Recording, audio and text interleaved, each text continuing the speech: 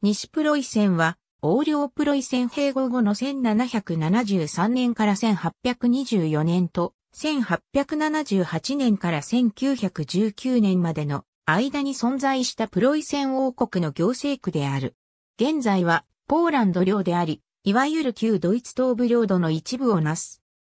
1918年のドイツの第一次世界大戦敗戦後、1920年2月に西プロイセンの中央部は、いわゆるポーランド回路及び自由都市団地比となり、一部はバイマル共和制ドイツに残り、新しくポイコール西プロイセン州となり、一方は東プロイセンの西プロイセン県として編入された。西プロイセンは、ナチスドイツ時代の1939年から1945年の間の帝国大管区であるダンツヒイコール西プロイセン帝国大管区に含まれ、第二次世界大戦後にポーランド領となった。西プロイセンは歴史上13世紀から1945年にかけて一般的な地域名称として使われてきた。中世時代には主にスラブ系の人々が暮らしていた。ビスはガーニシ川のポメレリアに住んでいたポメラニア人やクルムラントに住んでいたマゾビア人などである。しかし、コプロイセン人であるプルーセンも、ビスワ川の東とクルムラントの北に住んでいた。歴史的に移民が多い地域であり、文化的変遷とともに移民の種類も変わってきた。そのため、ドイツ人、カシューブ人、ポーランド人、ユグノー、メノナイト、またはスコットランド人など様々な人種が根結するようになった。現在では西プロイセンの領土のほとんどは、ポーランドのポモージュ県に位置しており、かつての西プロイセンの中心都市であったグダニスクが、現在のポモージュ県の首都である。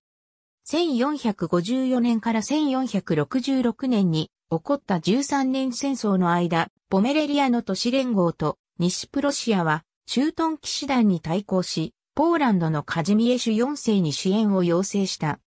1466年の第二次トルンの和訳で、ポメレリアと西プロイセンは、横領プロイセンの領土として編入され、特にダンツヒをはじめとする西プロイセンの都市には、特待的な権利を与えられるようになった。横領プロイセンは1569年に、ポーランド・リトアニア共和国の一部となり、先住民であるプロイセン人による自治を保っていた。一方で、東プロイセンは第一次トルンの和訳でポーランドの属領になっていたが、駐屯騎士団所有領に残されることになった。この地域は1525年にプロイセン公国の領土となり、1657年のブロンベルク条約でポーランドの総主支配が取り払われた。横領プロイセンの大部分は1772年の第一次ポーランド分割でプロイセン王国に並行され、翌年、東プロイセン州の一部となったバルミアを除く、元横領プロイセン地域が西プロイセン州となった。プロイセン王フリードリヒ2世は、新しい領土のインフラ整備を早急に進め、ポーランド式の行政や法体系は、プロイセン式に改められ、教育の水準は向上した。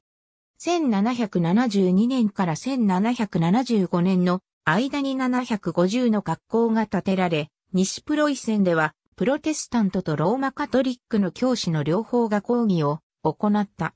教師や行政官はドイツ語とポーランド語に堪能であることが推奨され、彼らは後継者にも同じようにポーランド語も話すよう指導した。その習慣はフリードリヒ3世がビルヘルム2世にポーランド語を学ばせないことを決めるまで、コーエンツォレルン家によって続けられた。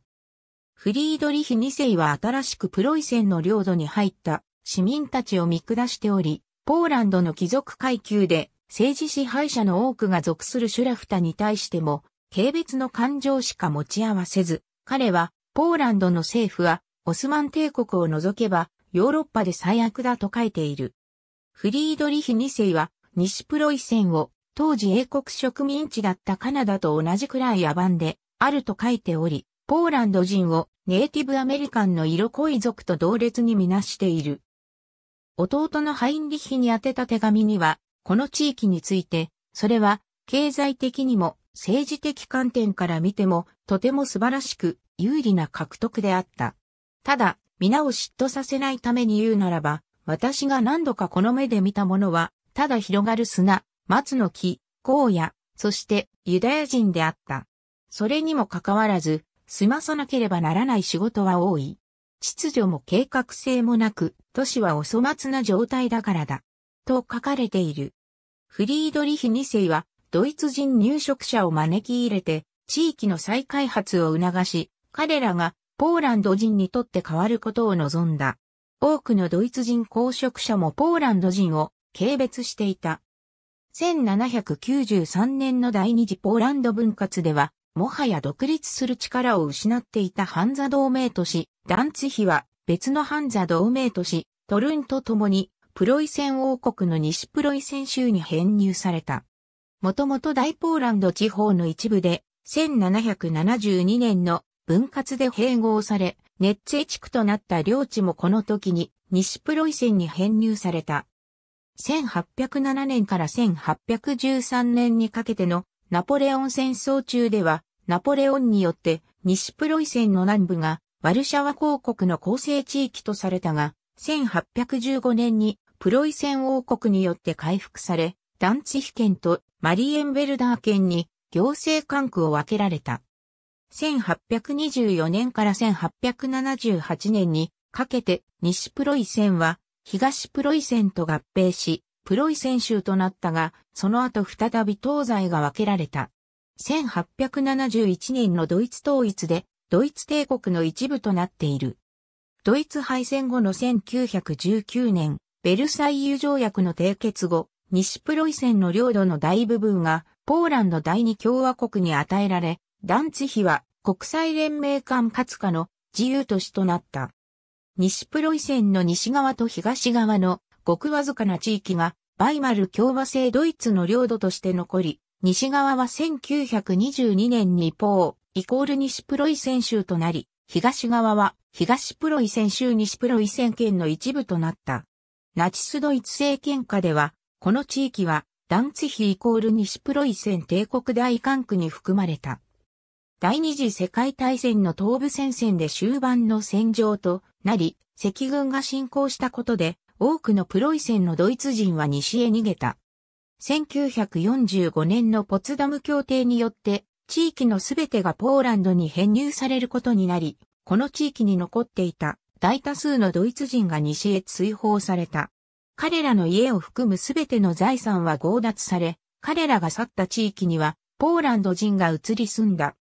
多くのドイツ人市民が、ソ連のボルクタなどにあった強制収容所へ追放され、多数の死者や行方不明者を出したと報告されている。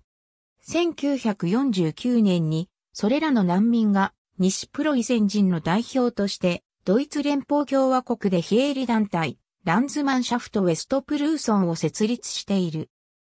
1896年の西プロイセン及びダンツヒワンの地図1910年の国勢調査に基づく西プロイセンの言語の分布と行政区分け円グラフの説明、ドイツ語ポーランド語か修部語その他、もしくは多言語1885年から1890年にかけては西プロイセンの人口は1%減少している。